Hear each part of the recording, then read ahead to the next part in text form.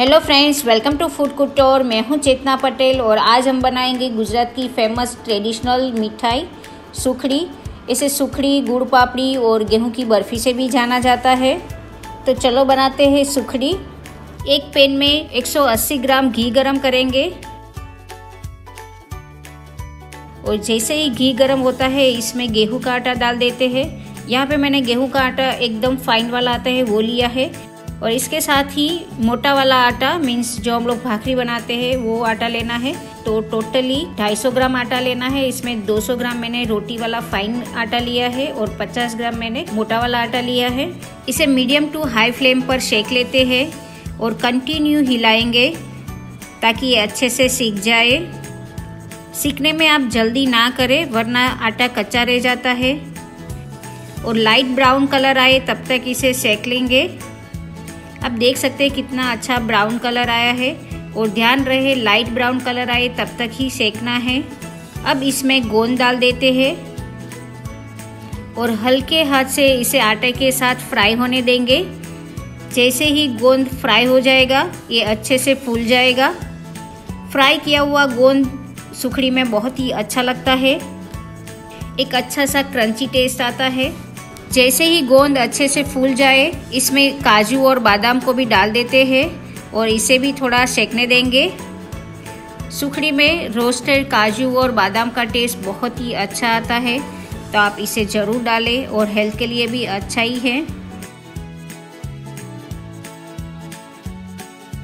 अब इसमें दो टेबलस्पून मलाई डाल देते हैं। यहाँ पे मैंने घर की मलाई यूज़ की है, अगर आपके पास है तो आप ज़रूर डालें।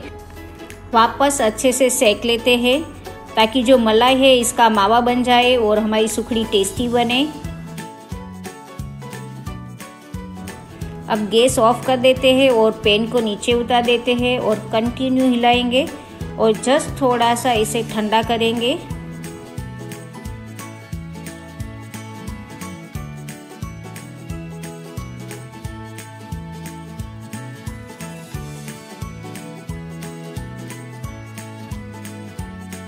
अब इसमें कद्दूकस किया हुआ गुड़ डाल देते हैं। यहाँ पे मैं 150 ग्राम गुड़ का यूज़ कर रही हूँ। अब खास ध्यान रखें, पेन को नीचे उतार के जस्ट थोड़ा सा ठंडा होने दे। इसके बाद ही गुड़ डाले। गरम मिक्सचर में गुड़ डाल देते हैं तो ये सुखड़ी है, वो ज़्यादा हार्ड बनती है या तो चूही बन जाती है। अच्छे से मिक्स कर देते हैं। आप देख सकते हैं, गुड़ अच्छे से मिक्स हो गया है। अब इसे ट्रे में डाल देते हैं और अच्छे से लेवल कर देते हैं।